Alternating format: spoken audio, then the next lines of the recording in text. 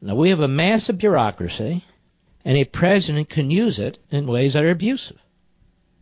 CEI, one of the uh, wonderful free market think tanks, reports that our regulations are costing us, that is, the government's regulations are costing us $2 trillion a year. They are job killers. They are entrepreneur killers. They are business killers. They kill the American system. I'm tired of people saying, oh, but don't you believe in clean air and clean water? This has nothing to do with clean air and clean water. Nothing whatsoever to do with clean air and clean water. This is a movement. It is a radical, hard left movement. Washington Free Beacon, one of the great websites.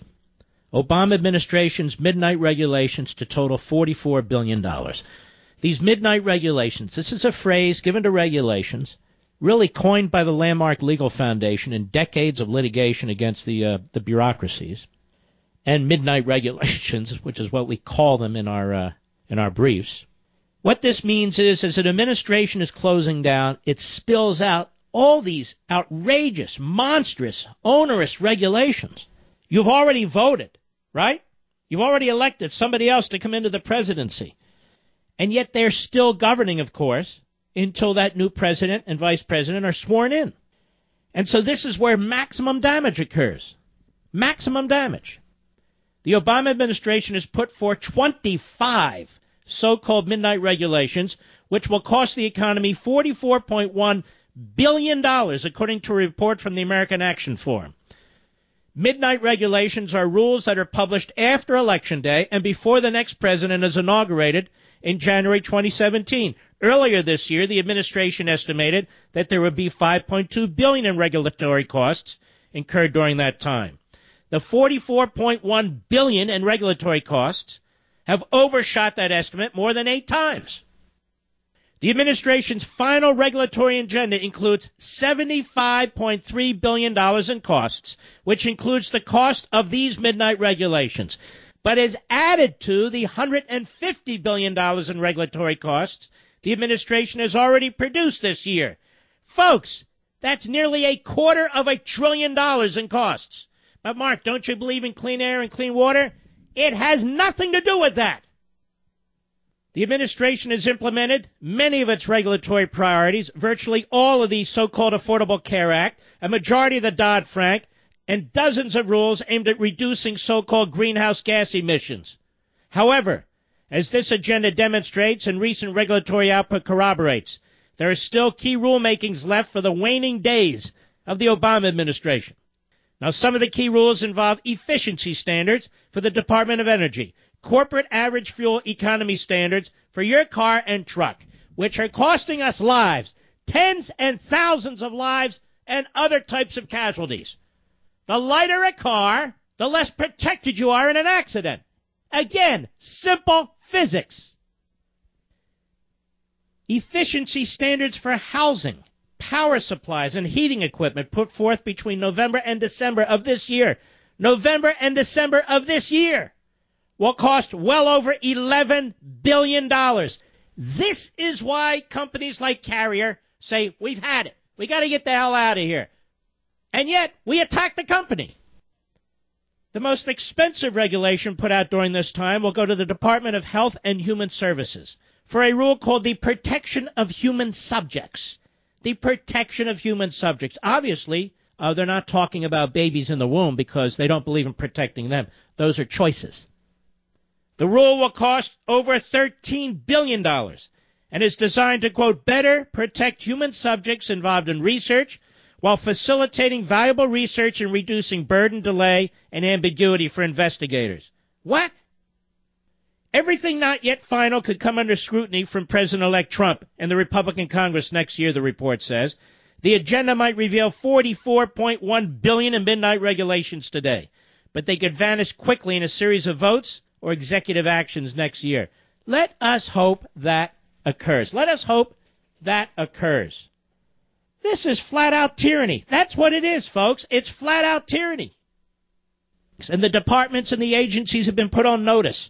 Push, push, fast, fast. Get it done. Get it done before they show up. And yet I'm wondering if the transition team and Trump's advisors are actually watching this stuff. Is it coming through the back door?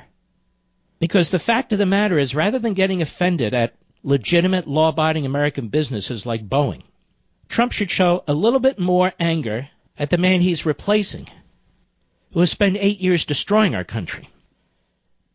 These things that Obama, these things he's doing, are political minefields he's creating, and there's going to be hundreds and hundreds of them from agency to agency, from department to department.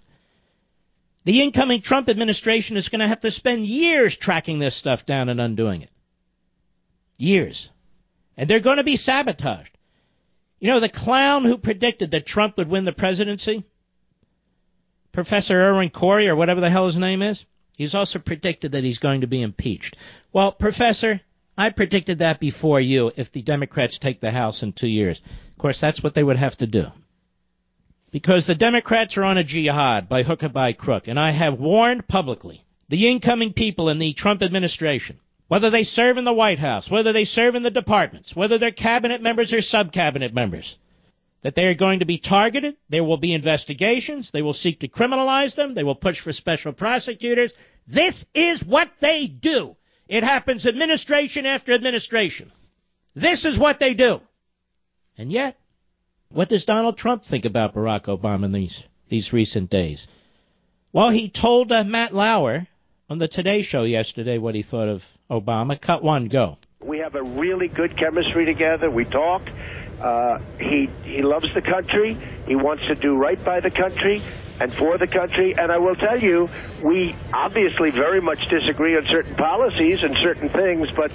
Uh, you know, I really like him as a person. I was and, fascinated and way, to read in your interview that you say you actually talked to President Obama about some of your possible appointments. I do. And the people you would surround yourself in the White House. Can you tell Correct. me specifically who you mentioned to President Obama that you were considering appointing? Well, I don't think that would be fair to him, but I have asked him what he would think of this one and that one. I've asked him what he thinks are the uh, biggest problems of the country, what are some of the greatest assets going forward. And we have a very good dialogue. They have very good cut dialogue. They're very cool. Very good dialogue. I know. Got to reach across the aisle and look like you're, uh, you know, you're working together. But no, I don't think so. Not with Obama.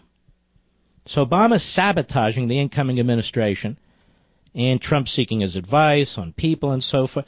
He doesn't have to prove anything to anybody, Trump. He's the president elect. He doesn't have to prove he gets along with Obama.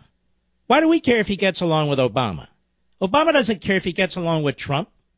Look what he's doing. He's already sabotaging the incoming administration. And trust me, there's going to be more that will be found. And Obama's not leaving Washington. And unlike these other former presidents, he's going to spend his time shooting spitballs all over the place, planning them in private and shooting them publicly. How come we know that Obama's a no good ideologue? How come we know that Obama practices Alinsky tactics? Don't the people around Trump know that? Doesn't Trump know that? It's important that Trump get many of these things he promised done. Not for him, for us. And Obama is going to do everything he can to sabotage him. And he's doing it right now. My advice to Donald Trump stop talking to Obama. Stop asking him for information. There's other former presidents around. Ask them. Obama's the worst.